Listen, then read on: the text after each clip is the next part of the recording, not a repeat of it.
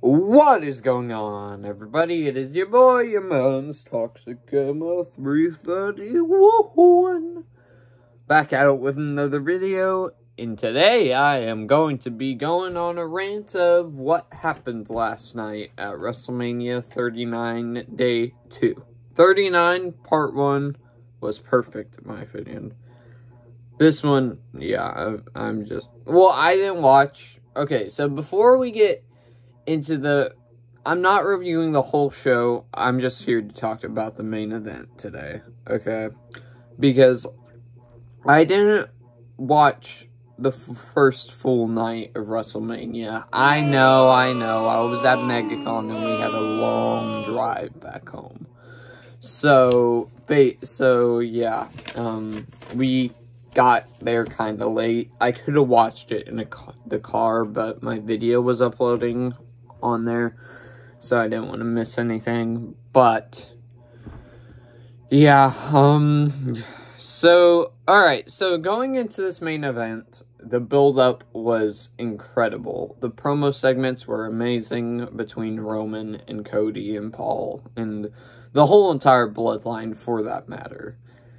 And then you finally get to the match. The entrances happen, of course, and the bell rings. And this match besides the ending, which we'll get to in a minute, in a little minute, was ama amazing, an amazing match. Like, there was moments in between where you thought Roman was going to lose. It did get, Roman is great at kickouts and making you think he's going to actually lose. Because every single time, bro, every single time, I swear, he, he pops that shoulder up before you think the ref's going to count three.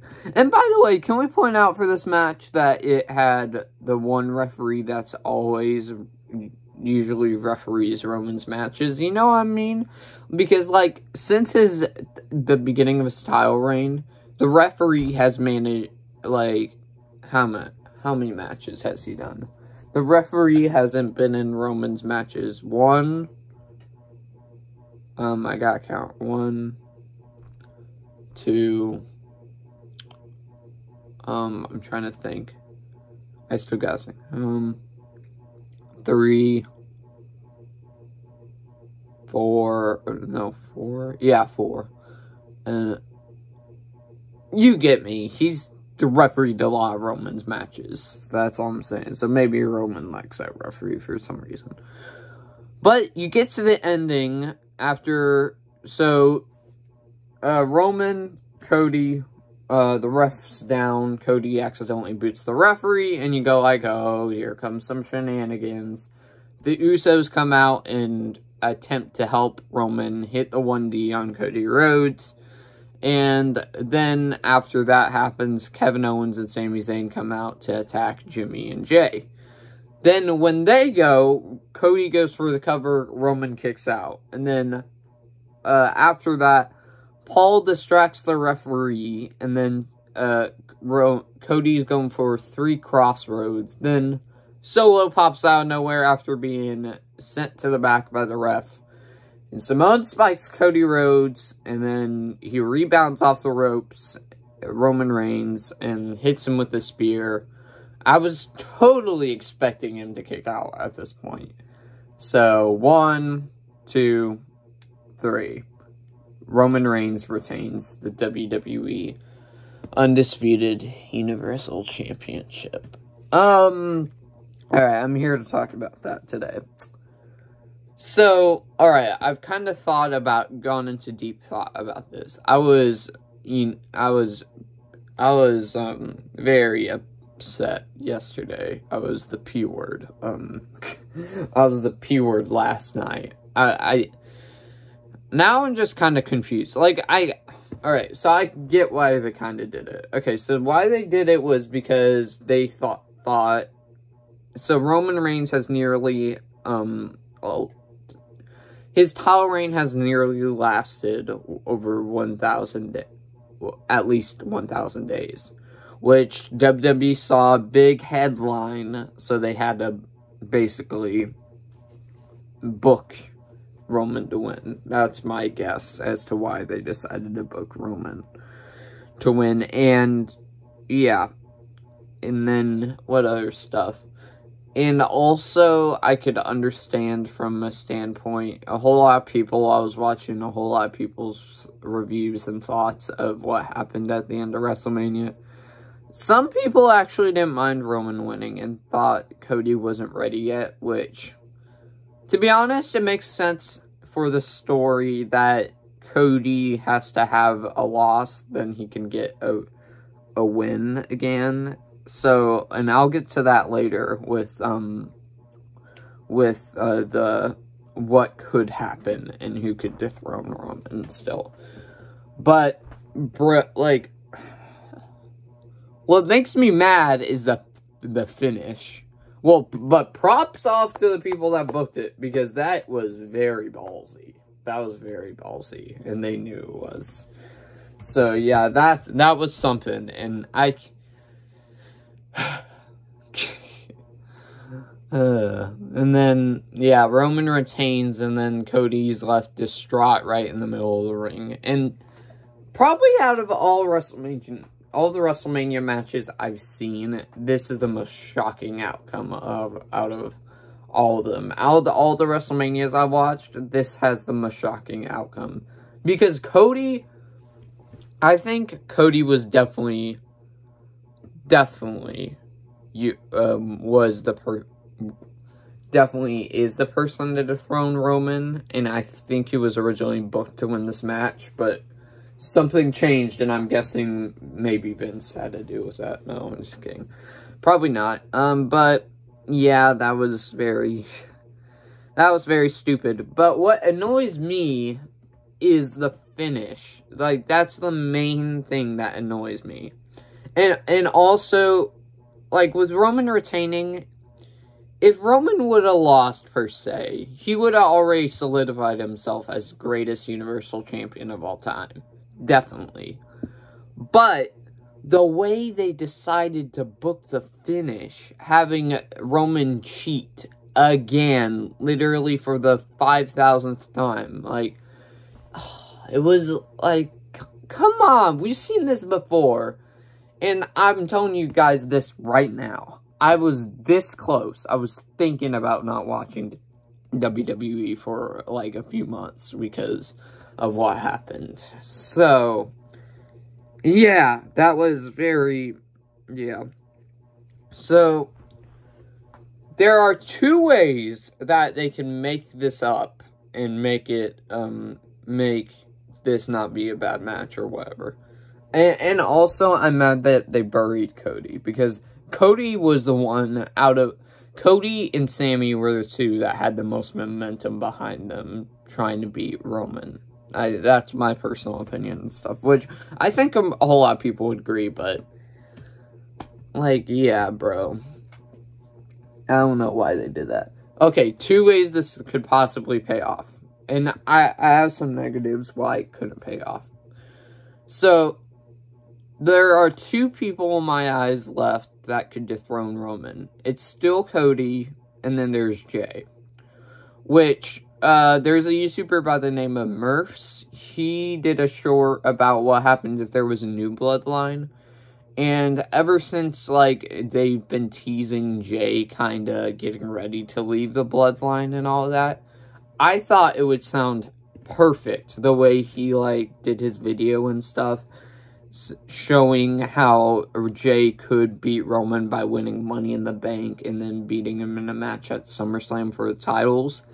That would be long-term storytelling because Jey was the first person that Roman faced in his first title defense. So that makes that would make be perfect storytelling at its finest right there.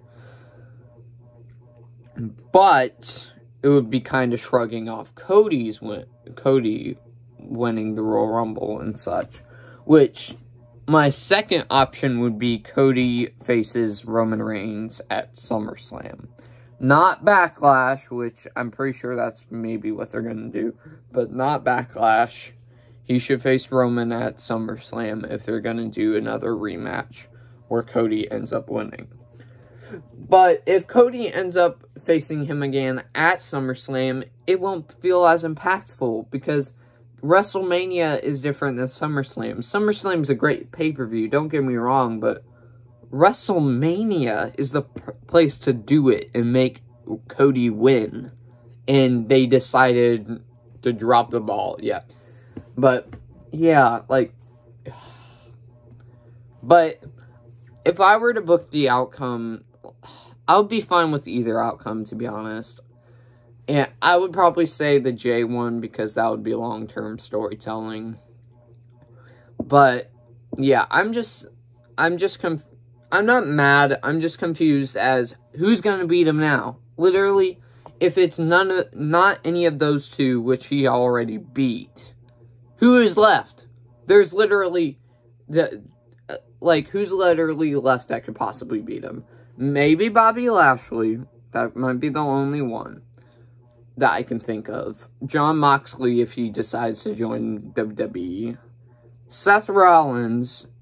And Seth Rollins because he never got pinned or submitted uh, in the Royal Rumble 2022 match. So, which I think he's the most likely out of the three I just listed that he could possibly beat Roman. But everybody else, there's no possible outcomes. There's no possible outcomes. Literally, the people that are left are Ricochet, which he probably would get squashed like he did Brock Lesnar at Crown Jewel 20. I think he would get a little bit more offense than what he got at Crown Jewel 2020. Who else? Sheamus, which I thought they were originally going to have a match like at a, a SmackDown or whatever for the titles. That didn't end up happening. Randy would not be able to dethrone Roman, but, I mean, actually, Maybe. I'll give it a maybe, because they could book Roman. I mean, they could may maybe book Randy to win. Because one last time as a world champion, you know, I think they could maybe do that. There's Randy, yeah, I, but I still don't see him beating him. Just Pat getting him, uh, getting him over as a big heel as well. Sami could still do it, but, like, I think if Sami were to do it, we would have to wait until next year, which... If we wait until next year, man, the title change better pay off. Like, I'm already... I'm already... How do I say this? I'm already hoping the payoff for the title change happens at SummerSlam. But it... I don't know. It has a chance of happening at WrestleMania 40, so... But yeah, that is my thoughts on Roman Reigns retaining. I did not expect it to go long for this video, that long for this video, but man, like, yeah, gotta give props to them. They left me shocked. I was just in my bed last night going, wow. And yeah, and it was very, very ballsy. It's very ballsy, but yeah, that is my overall thoughts of Roman Reigns retaining the WWE Universal Championship at WrestleMania 39 last night. Um, be sure to leave your thoughts and opinions of Roman retaining against Cody last night. If you're one of the people that that um wanted Cody Roman to win, you know, we can start a nice conversation, not like argue or anything. I I'll just yeah, it, it's cool or whatever. It, it, I'm mixed on the thing. I think I, I'm, I, I, I would say mm, seven, 70% I went, I did, am not how to, happy with the outcome. 30% I'm kind of happy with the outcome because it makes sense for the Cody Rhodes story because you gotta go through obstacles, so, but yeah. But before we get to the actual ending of the video, guys, don't forget to subscribe, like, because we're on the road to 70 subscribers. We're literally just two away now. And also, it's absolutely free. Don't forget to like the video if you enjoyed this review of the main event last night. Don't forget to ring the bell for all notifications so you don't miss notification when I upload. Also, do share the video because it will help out a lot. And also feel free, like I said, to share your comments on the WrestleMania 39 main event decision. But with that being said, guys, I'll see you in the next one, everybody. Pa pa pa pa. Peace.